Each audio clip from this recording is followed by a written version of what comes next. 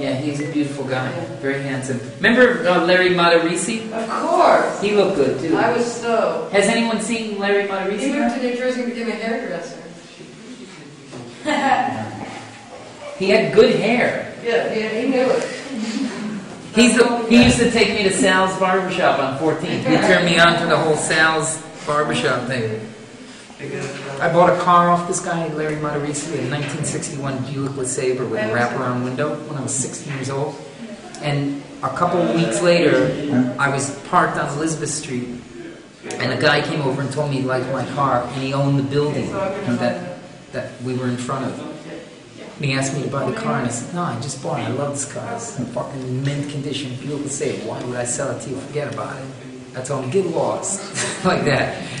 And he goes, well, you know, I own this building right here. Uh, I'd be interested in giving you an apartment if you sell me this car. And I swear, I said, you own this building?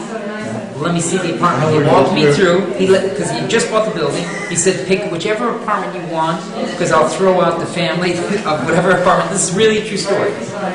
So we went, we knocked on all these doors, all Dominicans in the building. I looked in their apartment, and there was one that no one was living in, that the guy had sort of just left a couple months earlier. And I said, okay, I'll take that apartment. So I gave him the car, and that was the down payment on the house. First month's rent and the price to fix it up. That's the same apartment I'm in. That's how I got it from Larry Matarisi's Buick. But he was he looked straight, you know, he looked like a real cool Italian guy, but gay as could be. gay as could be. And I always I always tell him, Larry, what's up with the gay thing? You know, what, what are you doing? You know, because he was one of he was he would put chaps on like that kind of thing, like really gay. You know.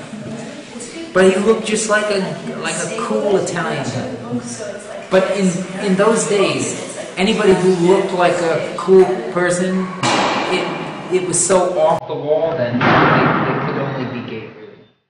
Because straight people looked bad.